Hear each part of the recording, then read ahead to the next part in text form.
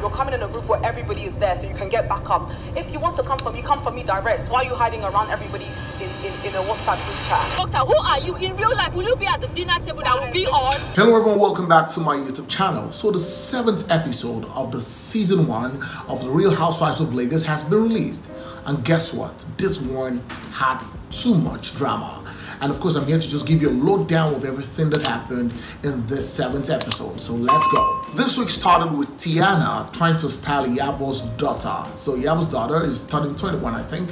Her birthday is coming, and of course, Tiannah is a stylist. So um, Iyabo's daughter's name is Priscilla, right? We call her Prissy. She's known on social media as Prissy, right? So, you know, Tiannah um, is trying to do the fitting and all of that for Prissy's dress for her birthday. And of course, you know, um, Tiannah now decides to call Iyabo on the phone, trying to show Iyabo what her daughter looks like and all of that. And at the same time, trying to talk about Laura's fashion show, right? So remember, the Tiannah was trying to tell Chioma that, you know, maybe Laura's outfits were not too good during the show, trying to show Chioma her own personal pieces that looks better kind of look better than you know Laura's own. But of course, you know we see Tiannah here trying to ask Yabo about you know what Laura's show felt like, and you know Yabo is talking about the fact that she enjoyed it because herself, Yabo, and her daughter Prissy walked the runway, and of course they had fun. So you know Tiannah is like, why wouldn't you say it was fun? Because I mean yourself and your daughter walked the runway, and of course you guys looked amazing. So man, it was fun for Yabo. Yabo was trying to give Tiannah feedback from what she felt about Laura's show. And then we see where Prissy is having a photo shoot. Of course, the photographer is Tiannah's husband, right? I mean, it was an amazing photo shoot. I really loved what, you know, Tiannah put together for Prissy, who's Iyabo's daughter. And then we now see Miriam and her sister, you know, because, you know, Miriam has told the girls that she wants to host a girl in her house. And of course, we see Miriam and her sister talking about the fact that, you know, she's trying to see what's going to be fun for the girls, trying to come up with a karaoke and all of that. But at the same time, it was just revealed to us that Miriam also has a fashion line, you know, beach wears and all of that. So, you know, she's trying to show her sister the products or the fabrics or the materials, the finished products of what her fashion line is looking like. And so we now see for the first time on this show, Miriam's husband, quite an old man, you know, probably in his 50s, 60s and all of that. But of course, they love each other. They look amazingly good. He brings a drink for his woman. And of course, you know, Miriam is gushing about the fact that her husband knows when she's stressed and when she's tired. And he knows what to do to her. And so Miriam's husband joins in the conversation with Miriam and her sister on what to do exactly for the girls, how to make sure that this outing comes out fantastically well. I'm going to say that it's not like a competition anymore. They just want, the girls just want everybody to have fun. So when it's your turn to host the girls, nobody's trying to do it like a competition. It started to feel like a competition at first. But after like two or three persons had done it, we now began to see the fact that, you know what, this person who's hosting just wants everybody to have fun and wants the girls to bond. And then the day arrives and we see Iyabo going to Tiannah's place to pick Tiannah up so that they can go for this gathering and get together that Miriam has planned. They're going to Miriam's house. And you know, we could hear Tony say, you know, um, Miriam's get together, whatever, had better be good because this one that everybody's leaving their jobs. Miriam's dinner had better be fun because this one that we're, we're all leaving our businesses to go and uh-huh. meet her. She has said it's going to be fun, so. And then they get to Miriam's house, and Miriam's house is amazing, beautiful. I love the setting, I love the color, I love the painting, I love the pieces. It's an amazing house, right? It just showed us that, you know, Miriam is in a class of her own, um, looking at her house, right? And I, I mean, I like Miriam, right? She's this girl who doesn't, she doesn't send anybody. She just does what she wants to do and all of that all right? So they walked in and of course the first first thing they had to you know meet was um, uh, a chef or someone who was trying to give them a glass of champagne and all of that and it was detailed right? So when they came it was yabo and Tiannah came in first. And after that Laura also came and everybody was bonding. So when Miriam came in, right, she told the girls you know what, I don't want all of you to sit together, so you're going to pick a number. So you guys pick one, this one, three to five, right? So I don't want best friends to sit together, so pick a number, and then what number you pick is the seat you're going to sit. Unfortunately enough, Tiannah picked one, right? Um, Laura picked two, and Yabo picked three, so it wasn't much of an issue, right? And then they started talking about your relationships, past relationships. Tiannah was telling us how she, you know, she had issues in her relationship, emotional issues, and all of that, psychological, that her partner wasn't like there for her, and all of that. And one, two, three, four, five hours, they were waiting for Chioma and Caroline. Five hours? No, that's too much. So we're gonna start dinner without them. In fact, they had to call Chioma. You know, Chioma was like, you know, Chioma probably had some stuff to do at work, but Chioma was like, I'm coming and coming and coming for five good hours. You know, while they were still waiting, Miriam went ahead to give them boxes of gifts, like she gave them that, that takeaway boxes, even though they had not started eating and all of that. She just wanted to, you know, to make the girls feel welcome. She gave them boxes. And after five hours, we now see Chioma and Caroline walking. In fact, the girls eventually could not wait. They had to go to the dining to eat. Now, to tell you that Chioma knows what she's doing, Chioma came with a bouquet of flowers because she knows that Miriam loves flowers. So Miriam, who had been boiling, you know, Miriam had said it's disrespectful for them to come late. Before they came, Miriam had ranting and all of that, you know. Um, Tiannah had ranted and all that. And then Chioma shows up with flowers and Miriam goes from 100 to 30. But regardless of the fact that Miriam went from 100 to 30 because she has seen flowers and she loves flowers, because Chioma knows she knows flower, she loves flowers, so Chioma just came using the flowers to appease Miriam. Yabo wasn't having it. Yabo decided to clear them and tell them, you know what, you girls. In fact, Yabo had to call Chioma out and say, you know what, you're a regular late comer. I mean, you're bringing Caroline. This is the first time Caroline is probably coming late for something, I think. But for me, it's not the first time. It's the second time because when Chioma was organizing the trip to Abuja, Chioma, Caroline also came late.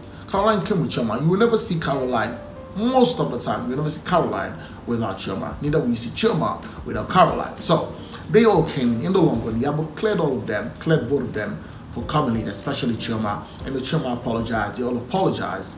And then Laura started drama. I don't know if it was drama because at first, before Chioma and Caroline came, Tiannah had given Laura a drink, champagne. So, you know, Laura doesn't like champagne. She's lightheaded. She can't take alcohol.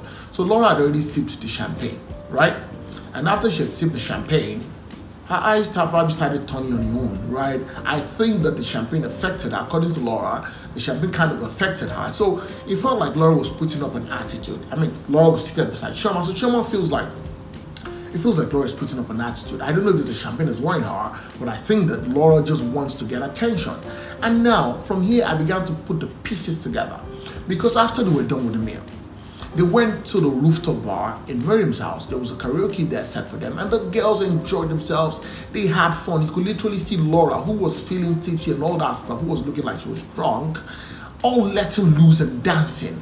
And in my mind, I'm like, was this not the same Laura who was downstairs, who was trying to feel like her head was coming off her neck and all of that? And boom, after they were done, they had fun at the karaoke.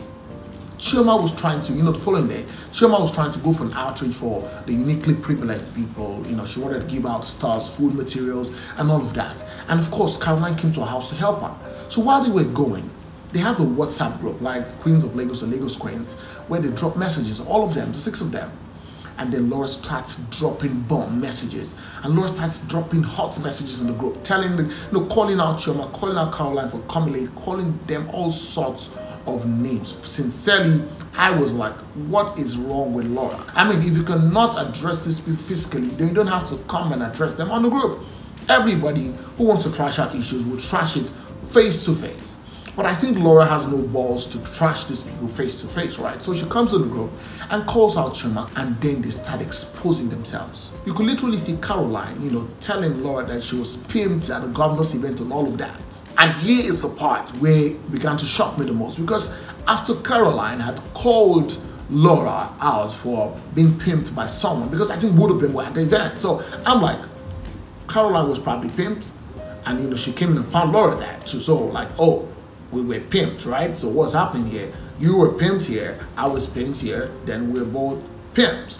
Then we now see Laura having to explain to her husband because this is an allegation, right? I don't know if it was um, while she was, it was, I think it was after, before she got married to her husband, that's Laura, before she got married to her husband, that this issue happened. So we see Laura trying to explain to her husband the meaning of that pimping that Caroline called her out for. So she was like, you know, um, Caroline is divorced, you understand, and she probably just wants somebody on her side too, and probably wants to get and twat her marriage and all of that. Divorce, Jack. But she was, but she, was- but she was there. Yeah, so she too was picked to the Yeah, I don't like, understand. so She's you know. evil. Of course, they say uh, misery likes company, right? Um, And then, you know, we see, you know, Yabo now calls, you know, Caroline, tries to get Caroline on a conversation on phone. You know, I mean, Chioma was raging mad. Why would you be calling me out on the group? I'm not cool with you. We seemed to be cool. We seem to be cool at some point, but I'm really not cool with you calling me out on the group. And then Yabo decides to call a family meeting,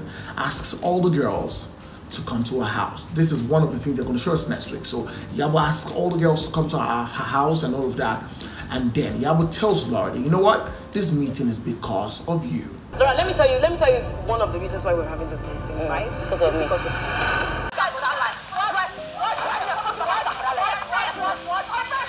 and at the end of the day, a fight ensues. We see throwing of things. We see Laura and Caroline clashing big time. And I'm looking forward to what's going to happen in the episode 8 of The Real Housewives of Lagos. So, ladies and gentlemen, I want to ask a question. What do you think about Caroline calling, Caroline calling out Laura for being pimped? I also think the Caroline was pimped. I don't know because I mean, one of you were found in that event. What do you think about her about Caroline calling Laura out for being pimped? And what do you also think about you know Chioma and Laura and um, Caroline always coming late for events? Do you think that Laura was right for calling them out on the group? Do you think that Laura should have called them out while they were seated there, or Laura was right calling both of them out in the group because she probably couldn't face both of them? So let me know what you think in the comment section. And of course, I'll be here again to bring you highlights or updates on whatever happens on the Real Housewives of Lagos. Like I told you earlier, like you saw my previous video, the reunion for Big Brother 9 is coming up soon, and I'm going to be here to bring you all the juiciest details that go down during the reunion. Thank you so much, guys, for watching. Please, if you're not subscribed to my channel, please hit the subscribe button, turn on the notification bell, and guess what? You get notified whenever I post a video. Go on all social media platforms on Facebook, on Instagram, on Twitter, and of course on TikTok, and follow me at the Femi Daniel. And until next time, I'll come away very soon. It's bye for now.